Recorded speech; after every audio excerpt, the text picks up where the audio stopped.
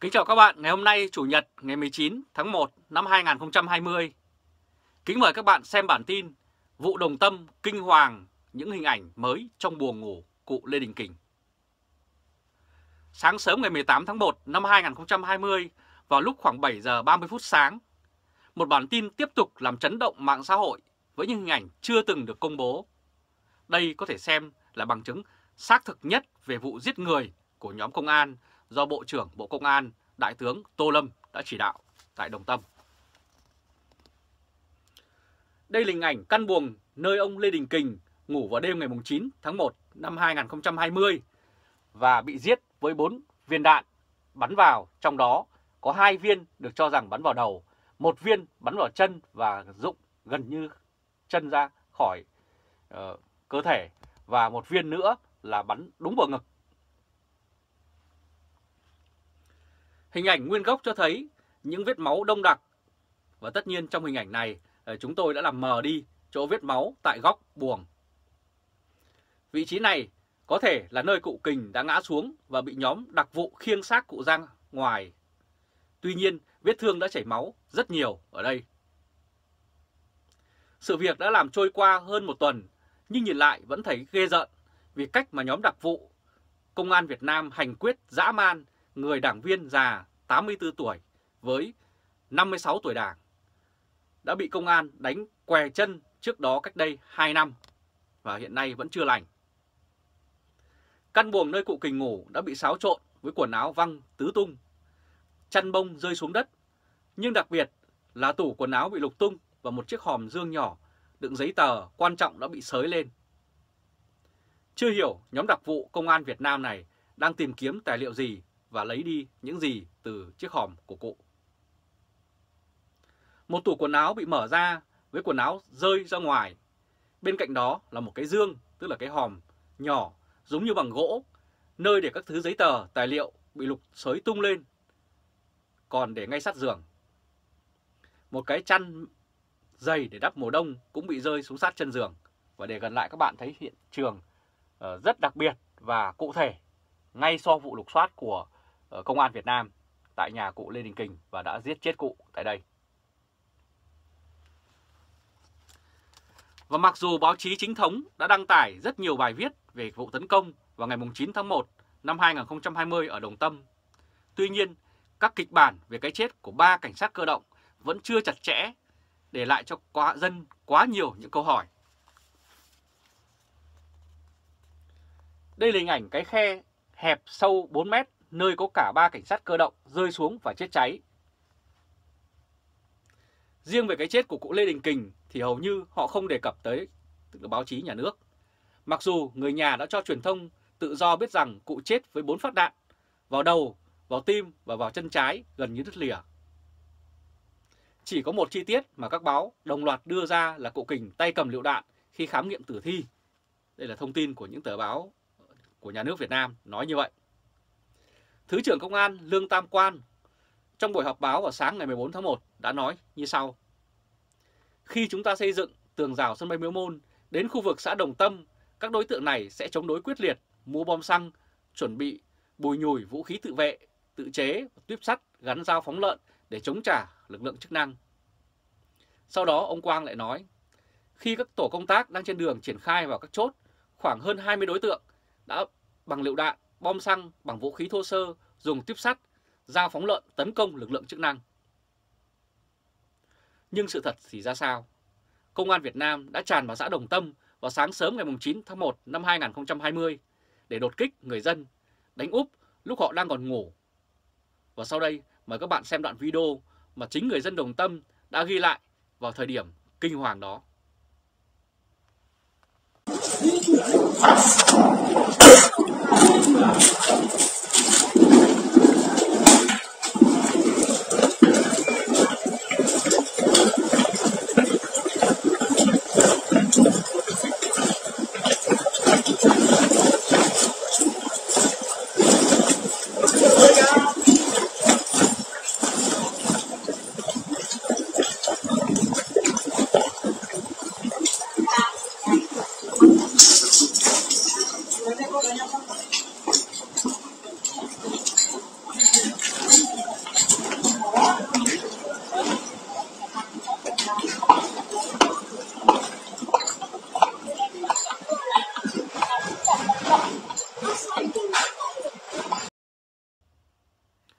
Và nhóm đặc vụ đã tìm thấy gì khi lục trong dương hòm tài liệu của cụ Lê Đình Kình tại nhà riêng?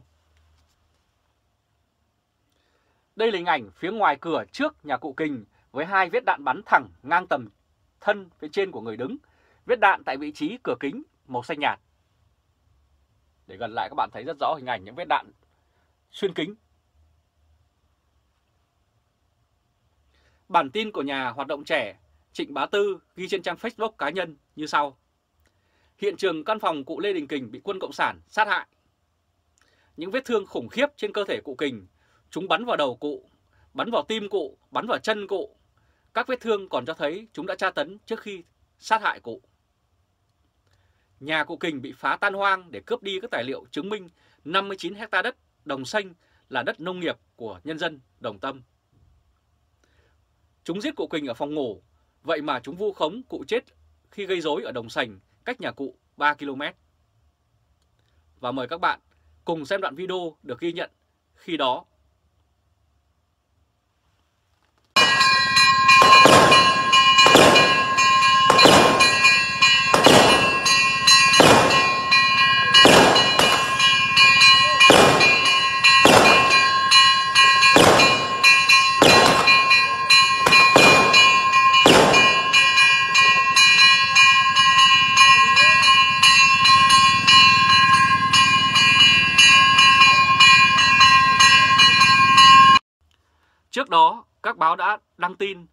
ông Lê Đình Kình tử vong nhưng chỉ nói vắn tắt là ông liên quan đến việc chống người thi hành công vụ.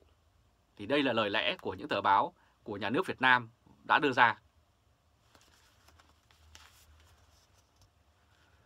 Đây là hình ảnh vào sáng ngày 14 tháng 1, Thứ trưởng Bộ Công an Lương Tam Quang đã trao đổi với báo chí về những gì đã xảy ra tại làng Hoành, xã Đồng Tâm, huyện Mỹ Đức, Hà Nội vào dạng sáng ngày 9 tháng 1 năm 2020. Tuyệt nhiên chưa có một báo nào nói đến những vết đạn trên khắp người ông, mặc dù sau khi hành quyết ông thành công, họ lại tiếp tục đưa về mổ banh xác để khám nghiệm tử thi. Dù vậy, vẫn chưa ai có thông tin chính thức rằng nguyên nhân vì sao ông chết. Ngày 14 tháng 1 năm 2020, Bộ Công an nói rằng công bố thông tin vụ đồng tâm nhưng chỉ nói một cách chung chung về ba chiến sĩ hy sinh, nhưng không hề nói về nguyên nhân dẫn đến cái chết của cụ già 84 tuổi Lê Đình Kình với 58 tuổi đảng. Và hình ảnh mới công bố từ trang Facebook của ông Trịnh Bá Phương đã tái khẳng định giả thiết rằng cụ Kình đã bị hành quyết ngay trong phòng ngủ và ngay trên giường của cụ. Đây là ảnh mới được ghi lại của người dân công bố cho thấy cảnh sát cơ động mặc trang phục đặc biệt ít thấy với thiết bị che đầu gối, che ống chân, khiên đỡ và gậy ba thon để đi đàn áp người dân Đồng Tâm vào sáng sáng ngày 9 tháng 1 năm 2020. Sau đó, nhóm đặc vụ lục tung căn phòng của cụ Lê Đình Kình để tìm bằng chứng, giấy tờ mà chúng mong muốn. Cuối cùng, chúng khiêng xác cụ Kình ra ngoài và bắt bà Dư Thị Thành giải đi luôn. Trịnh Bá Tư ghi rằng, căn phòng ngủ nơi cụ Kình bị sát hại dã man, chúng lục tung phòng để cướp đi các tài liệu chứng minh 59 hecta đất đồng sành là đất nông nghiệp của nhân dân Đồng Tâm. Và có lẽ đây là một trong những lý do mà nhà cầm quyền tại Hà Nội đã mở cuộc tấn công rất lớn với hơn 3.000 cảnh sát cơ động đột nhập vào giữa buổi sáng sớm ngày 9 tháng 1 năm 2020 và giết chết cụ Lê Đình Kình.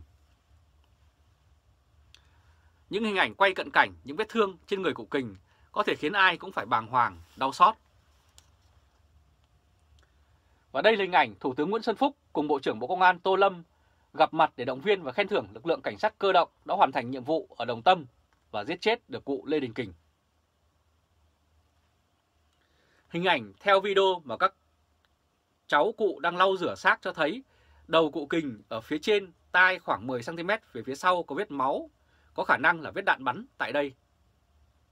Vết đạn bắn trên ngực trái rất nhỏ và gọn, chứng tỏ đặc vụ của Công an Việt Nam đã dí súng vào rất sát mới bắn.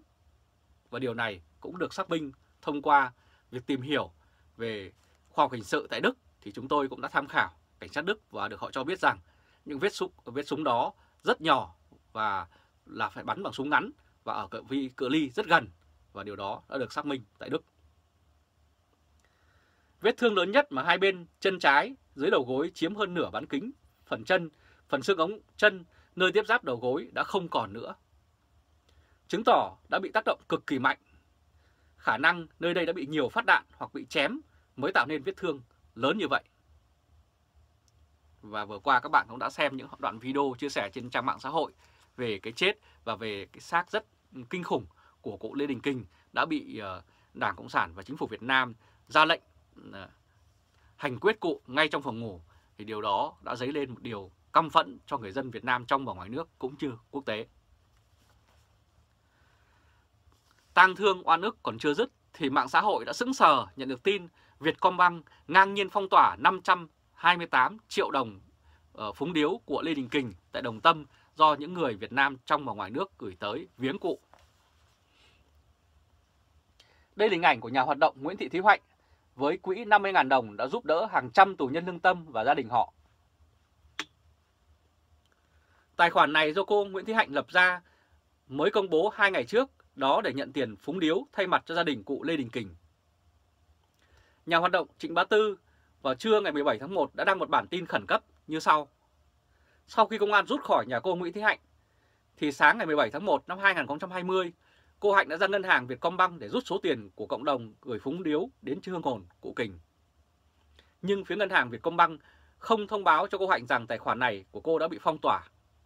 Cô Hạnh thắc mắc nhưng phía ngân hàng từ chối cho biết lý do. Tổng số tiền là 528 triệu 453.669 đồng được ngân hàng cung cấp bảng sao kê gồm 37 trang với khoảng 700 người gửi tiền phúng điếu đám tang cụ Lê Đình Kình. Phản ứng trên mạng xã hội rất dữ dội với hàng ngàn lượt chia sẻ với những hành vi cụ thể kêu gọi tẩy chay và rút hết tiền khỏi Vietcombank. Bắt đầu từ thứ hai tuần sau, một số người quay video và chụp ảnh việc họ cắt bỏ và bẻ gãy ảnh uh, thẻ của Vietcombank. Trang uh, fanpage của Facebook của Vietcombank cũng bị khóa chỉ trong một thời gian rất ngắn sau đó vì đã có quá nhiều người vào phàn nàn và phản đối Vietcombank đã đối xử không đúng với khách hàng. Và mặc dù đám tang cụ Lê Đình Kình đã trôi qua được gần một tuần, nhưng không khí đe dọa vẫn bao trùm thôn Hoành, làng Đồng Tâm và các lãnh đạo, nhà báo và các nhà báo tự do vẫn chưa thể đến được hiện trường để đưa tin cho người dân trong và ngoài nước được biết. Đây là hình ảnh cảnh sát cơ động chặn đường vào xã Đồng Tâm vào hôm 9 tháng 1 năm 2020. Trong khi đó, người dân xã Đồng Tâm, huyện Mỹ Đức, Hà Nội tiếp tục đang sống trong không khí căng thẳng bao trùm, hoang mang với việc tiếp tục diễn ra bao vây cô lập địa bàn hiện nay bên cạnh các vụ lùng sục triệu tập người dân. Một số nhà hoạt động và quan sát từ Việt Nam dẫn lời người dân nói với BBC hôm thứ Bảy như sau. Chưa rõ có bắt thêm không, nhưng triệu tập và lùng sục chắc chắn là có. Có triệu tập và đe dọa, người dân đã nói như vậy. Nhà hoạt động Trịnh Bá Tư nói với BBC News tiếng Việt vào hôm 18 tháng 1 năm 2020 như sau. Tin này nhận được sáng nay, người dân không nói gì về Tết nhất cả. Không khí bạo khủng bố bao trùm, người dân bị triệu tập. Đe dọa, người dân không dám nói công khai họ đã bị đe dọa cụ thể ra sao, vì sao và họ sợ bị truy ra danh tính, sợ bị lộ. Và nhà hoạt động trẻ Trịnh Bá Tư cũng nói thêm an ninh bố trí khắp xã, ngồi kín các ngã tư, các quán xá. Không rõ họ thuộc bộ phận nào, họ mặc thường phục. Đây là hình ảnh cảnh sát cơ động ở Đồng Tâm sau ngày 9 tháng 1 năm 2020 và hiện nay vẫn tiếp tục bao vây khu vực này. Ông Trịnh Bá Phương nói thêm, công an vẫn đang truy bức rất gắt gao. Nhiều người bị bắt tiếp nữa, chứ không phải chỉ là giới hạn số người bắt như hôm đầu, mùng 9 tháng 1. Họ vẫn truy bức đến mức hầu như không thể liên lạc với ai ở Đồng Tâm. Chiến dịch bổ sung diễn ra ngay sau khi trả xác cho cụ Kình xong thì bắt đầu là họ đưa quân vào làng để bắt. Mấy hôm nay họ đi truy bức, hiện tại không thể thống kê là bao nhiêu người bị bắt. Chính người dân ở đây cũng không thể thống kê là những ai đã bị bắt. Một số người đã phải rời khỏi bỏ địa phương nên họ cũng không biết có những ai rời đi khỏi địa phương hay là có những người đã bị bắt rồi. Tình hình hiện tại thì người dân Đồng Tâm đang rất hoang mang. Và người dân Đồng Tâm vẫn còn bị đe dọa. Vì thế vẫn còn rất nhiều sự việc và sự thật chưa được công bố hết. Nhưng hàng ngàn, hàng ngàn người dân đồng tâm vẫn còn sao lưu và giữ các dữ liệu mà họ đã ghi nhận được và những hình ảnh đó sẽ tiếp tục công bố để thức tỉnh 90 triệu người dân Việt Nam trong và ngoài nước về chế độ bạo tàn cộng sản do ông Tổng Bí thư Nguyễn Phú Trọng đứng đầu. Họ đã dùng súng đạn để bắn giết người dân. Đó là dấu hiệu rõ ràng nhất của thời kỳ và thời điểm diệt vong của Đảng Cộng sản cũng đang cận kề. Rất cảm ơn các bạn đã chú ý theo dõi chương trình truyền hình trực tiếp của Lê Trung Khoa, Thời Báo .D ngày hôm nay, Chủ nhật, ngày 19 tháng 1 năm 2020. Các bạn hãy để lại bình luận và chia sẻ video cho nhiều người cùng biết, cũng như bấm nút theo dõi YouTube và Facebook của Thời báo.de và chúng tôi sẽ cập nhật những thông tin nhanh nhất, mới nhất để phục vụ các bạn. Chào các bạn từ Berlin, Cộng hòa Liên bang Đức, Trung Khoa.